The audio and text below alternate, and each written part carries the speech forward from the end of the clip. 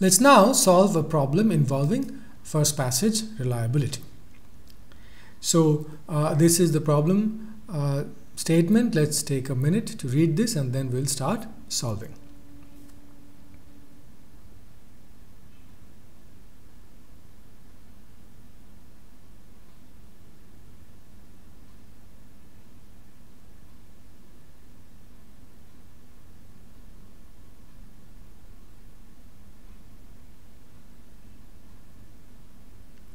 So we need to find uh, the mean time to failure uh, and the probability that uh, the item will survive uh, 10 units of time. So the reliability at time 10. Uh, let's see uh, what we know so far that S and Q are stationary processes. So their variances are so the variance of, of any random variable is expectation of uh, x squared minus the mean squared. Uh, so the autocorrelation function r, rss, is basically the expectation of uh, the process and uh, its counterpart at a lag tau. So uh, when the lag is zero, we have the expectation of the process squared. So uh, the e of s squared is 29 and e of q squared is 5 both of these come from the RSS and RQQ respectively that you see on the top. So that gives us uh, the variance as uh, the variance of S as ES squared minus the mean uh, of S squared. So that's 29 minus 5 squared and uh, EQ squared is uh, 5. So sigma Q squared is 1. So uh, these quantities we're going to use very soon. Now, the, the safety margin uh, is the difference of uh, S and Q. And because each of these uh, quantities S and Q are stationary Gaussian, the difference is Gaussian and also stationary. Uh, the mean is uh, 5 minus 2, 3, and uh, the standard deviation is sigma m, and um, the autoco autocorrelation function is RMM at lag tau. So let's find them. Uh, the variance of m is the variance of s plus the variance of q and the autocorrelation function let's start from uh, the basic definition so r m m tau is e m t times mt plus tau uh, and let's now write that out. Uh, m being s minus q so we can expand those. And uh, turns out to be this expectation. So uh, let's take term by term. So expectation of st times st plus tau by definition is the autocorrelation function of s. So it's rss tau. And likewise uh, we can uh, find the rest. We need to remember that uh, S and Q are independent processes, so the expectation of their product will be the product of their expectations. So uh, putting all of that together, uh, we find that our MM tau is the expression uh, that includes RSS tau, RQQ tau, and the, uh, the uh, product of the, the means.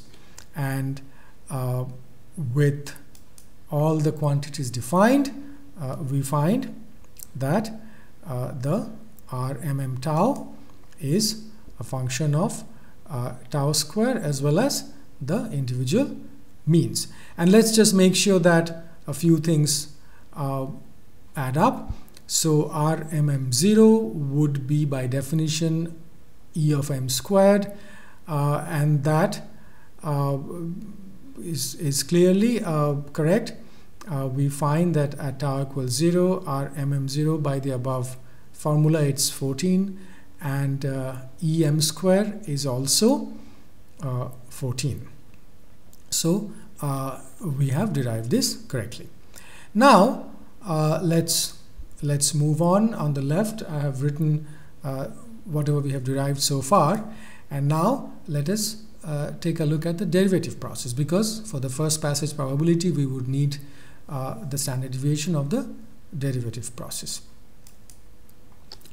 Uh, there is another result uh, which um, uh, uh, we have not learned formally is that the autocorrelation function for m dot the derivative process in such situations is the second derivative of the parent of the uh, autocorrelation of the parent process times minus 1 so it's it's the negative of the second derivative. Uh, so since we know the autocorrelation function of m uh, we can easily find uh, that of uh, m dot and that turns out to be a function of the lag tau. Uh, m dot is a stationary process, so its variance uh, would be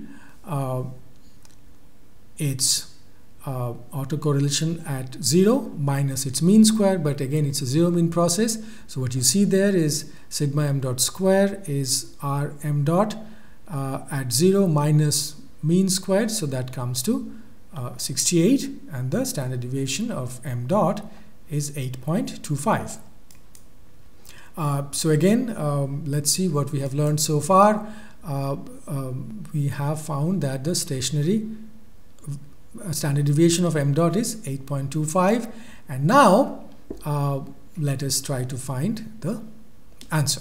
So our item fails when mt becomes negative for the first time uh, but we need to come to a zero mean process. We know that the mean of m uh, is 3 so let's just take the difference and define a new margin m0 as 3 minus mt and uh, this m0 now is a zero mean process. Uh, now obviously uh, just adding a constant does not change the variance of the autocorrelation function uh, of, of a process. So uh, m0t has the same variance and the same autocorrelation function uh, as m. Um, and obviously the derivative process of m0 and the derivative process of mt have identical properties.